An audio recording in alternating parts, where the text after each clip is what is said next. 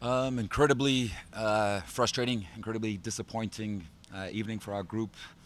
Uh, I thought there were large chunks, particularly in the first half, where we played very, very well, uh, and then moments of the game that we didn't manage very well, uh, and our concentration uh, definitely hurt us during the course of the game. So, incredibly disappointing night.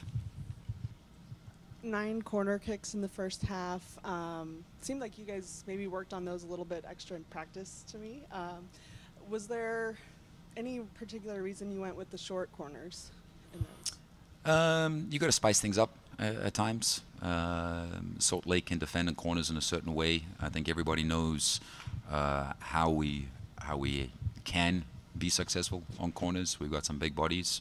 Uh, you want to put the ball in the box like we did sometimes, and other times you want to play short to draw players out and then try to get the box into the corner. Uh, but it wasn't successful tonight, uh, unfortunately. Um, so we try to be creative. I think every team tries to be creative. You want to capitalize on those chances.